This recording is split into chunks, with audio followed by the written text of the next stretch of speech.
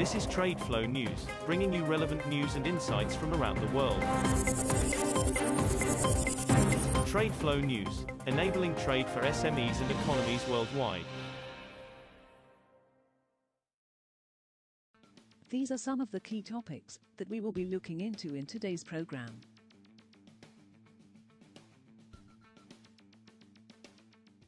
First, let's take a look at the overnight headlines which are impacting the commodity markets.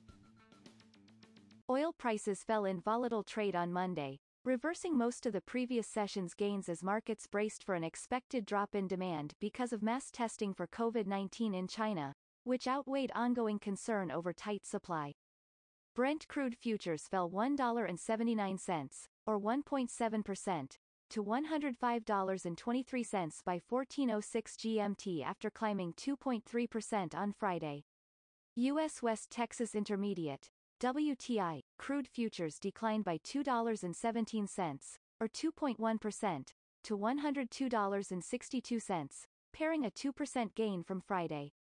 The market was rattled by news that China had discovered its first case of a highly transmissible Omicron subvariant in Shanghai and that new cases had jumped to 63 in the country's largest city from 52 a day earlier.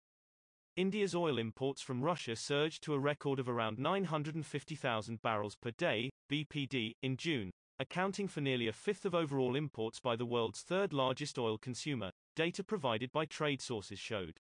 Indian refiners have been snapping up Russian oil sold at hefty discounts to Brent and Middle East staples after some Western companies and countries shunned purchases from Moscow following its invasion of Ukraine on February 24.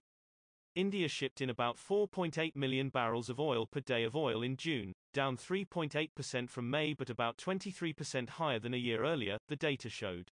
Last year, India's oil imports were low as fuel demand was hit by a second deadly coronavirus wave. Moving on to the top news in the energy sector. Western energy majors will cut output and lose billions of dollars if Russia, as is feared, suspends a pipeline that is almost the only export route for oil from landlocked Kazakhstan, company sources, traders and analysts say. The closure of the CPC pipeline that carries oil from Kazakhstan to the Black Sea Russian export terminal in the port of Novorossiysk would shut in more than 1% of global oil supply, exacerbating what is already the most severe energy crunch since the Arab oil embargo in the 1970s. The pipeline, which runs through Russian territory and is owned by a consortium of Western, Asian, Russian and Kazakh companies, has been in the spotlight since Russia on February 24 invaded Ukraine in what Moscow calls a special military operation. India's coal imports hit a record high in June despite high global prices, data from three trade sources and Refinitiv ship tracking showed. As economic activity picked up and amid a domestic shortage of the fuel. India imported over 25 million tons of thermal coal and coking coal in June, rising by over a third compared with the same period last year. Data from consultancies Coalmint and Kpler, and trader iEnergy Natural Resources showed. Imports of thermal coal, used mainly in electricity generation, jumped to 19.6 million tons, while shipments of coking coal, used in steelmaking, rose to about 5.4 million tons, Coalmint and iEnergy data showed. Next, we have the top news in metal markets. Benchmark iron ore prices in Asia fell on Monday on growing fears of weakening demand for the raw material in top steel producer China, where multiple cities are enforcing fresh COVID-19 curbs. The most traded iron ore, for September delivery, on China's Dalian Commodity Exchange ended daytime trade 3.3% lower at 741 yuan, $110.37, a ton, after earlier touching 722 yuan, its lowest since July 6. On the Singapore Exchange, the steelmaking ingredients front month August contract slumped up to 4.8% to $107.45 a ton. Copper prices fell on Monday as worries about demand in top consumer China due to new coronavirus restrictions, and elsewhere because of interest rate rises, were reinforced by the soaring dollar. Benchmark copper on the London Metal Exchange LME, was down 3.1% to $7,559 a ton by 1350 GMT. Prices of the metal used widely in the power and construction industries have dropped more than 40% since peaking at $10,845 a ton in March.